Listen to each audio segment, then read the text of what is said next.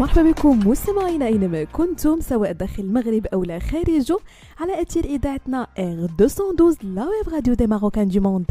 أول إذاعة في الويب موجهة خصيصا لمغاربة العالم. فقرة Care Week مستمعينا وكما العادة كنرافقكم في مجموعة من المواضيع اللي كتهم الصحة الجسدية والنفسية ديالكم.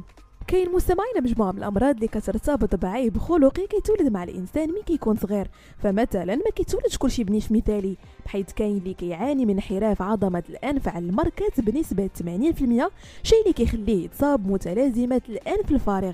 ما هي هذه المتلازمة؟ شنو هي أعراضها؟ وطرق العلاج.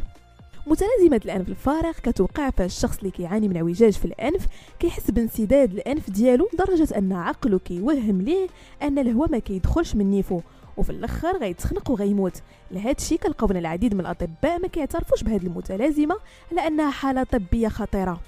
فيما يتعلق بأعراض متلازمة الأنف الفارغ ففي الغالب ما يمكنش نحدهم بشكل دقيق لأنه في الكثير من الأحيان الأنف ما كيكون فيه والو اللي يحبس التنفس. هادشي علاش؟ كيرافق هاد المتلازمة أعراض نفسية بحال القلق والتوتر والإنسومنيا. أما الأعراض الجسدية فكتمثل في ضيق التنفس جفاف الأنف صداع في الرأس نقص المخاط خفق القلب وتورم وألم في الأنف. وأخيرا مستمعينا طرق العلاج. ما كتعتبرش هذه المتلازمه من الأمراض الخطيرة جدا بحيث يمكن علاجها عبر ترطيب الممرات الأنفية أو قتل البكتيريا السيئة في الأنف بالإضافة لاستخدام المضادات الحيوية لقتل البكتيريات الضارة.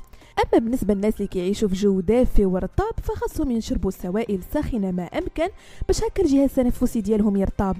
وكيبقى الحل الجراحي هو الخيار الأخير بحيث كيتم صلح داك العوجاج اللي كيخلي النيف ضيق وما كيدخلش الهواء مزيان. بهذا مستمعينا كنكون وصلنا لنهاية فقرة Care Week نضرب لكم موعد la semaine prochaine هادشي كامل على تيلي اذاعتنا R 212 la web radio des Marocains du monde